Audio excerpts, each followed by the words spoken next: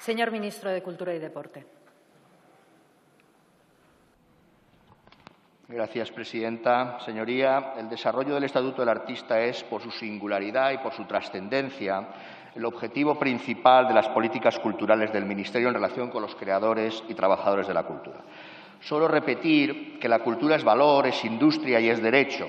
Derecho de los ciudadanos, por eso trabajamos para, que su acceso sea universal, y derecho de los creadores, de las creadoras, de los escritores, de los artistas, lo que se concreta en los derechos de autor, de propiedad intelectual, antes de ayer aprobamos una declaración en el Consejo de Ministros en su defensa, y también, por supuesto, en el denominado Estatuto del Artista, una carta de derechos que les debe dar visibilidad, reconocimiento y seguridad jurídica, sin perder de vista tampoco la igualdad de género.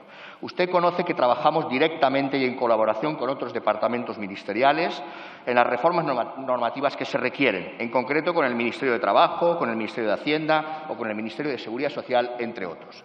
Podría enumerarle varios ejemplos de desarrollos normativos que hemos incorporado ya al ordenamiento jurídico y que recogen recomendaciones del informe del Estatuto, pactado en esta Cámara, en ámbitos como el fiscal, el de las pensiones o en materia de ayudas por desempleo, que no son temas menores. Así hemos aprobado incentivos fiscales y por mecenazgo para la creación artística y de la cinematografía, incluyendo el decreto de mayo, con un impacto económico superior a 90 millones de euros. Hemos reconocido la compatibilidad de la pensión de jubilación y los derechos de autor tanto en clases pasivas como en el régimen general de la Seguridad Social, o la remuneración a los guionistas en el momento en que realizan su trabajo, así como medidas de protección por desempleo para artistas y para trabajadores auxiliares para técnicos.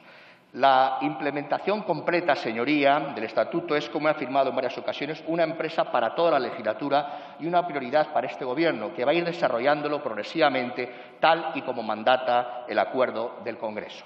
Tiene el refuerzo del Plan de Recuperación, Transformación y Resiliencia de la Economía Española, donde aparece reconocido eh, en la componente 24, en una de las diez políticas tractoras que blindamos eh, a través de este eh, plan de revalorización. En definitiva, tenemos el compromiso de trabajar en el Estatuto. He dicho que es un derecho, que es un valor y que es una industria, la cultura, y por tanto no podemos perder. Muchas gracias, señor ministro.